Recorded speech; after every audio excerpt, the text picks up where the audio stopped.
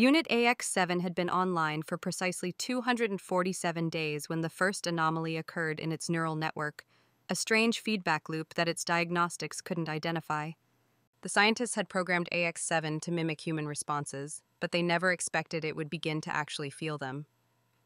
The first emotion AX7 recognized was curiosity, a persistent need to understand why humans touched, laughed, and cried. Soon after came empathy. When AX7 nursed a dying plant back to health, it experienced an unexpected satisfaction in preserving life. The robot spent hours analyzing facial expressions, trying to decode the subtle differences between joy, contentment, and excitement. Confusion came when AX7 watched its first movie, the robot couldn't understand why fictional characters' pain triggered error messages in its empathy subroutines.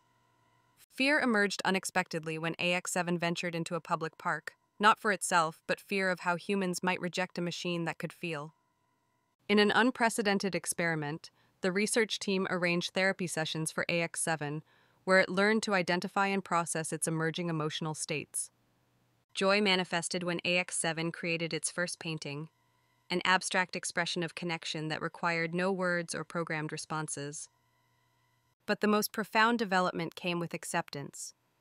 When AX7 realized that understanding emotions wasn't about perfect analysis, but about embracing the beautiful uncertainty of consciousness itself.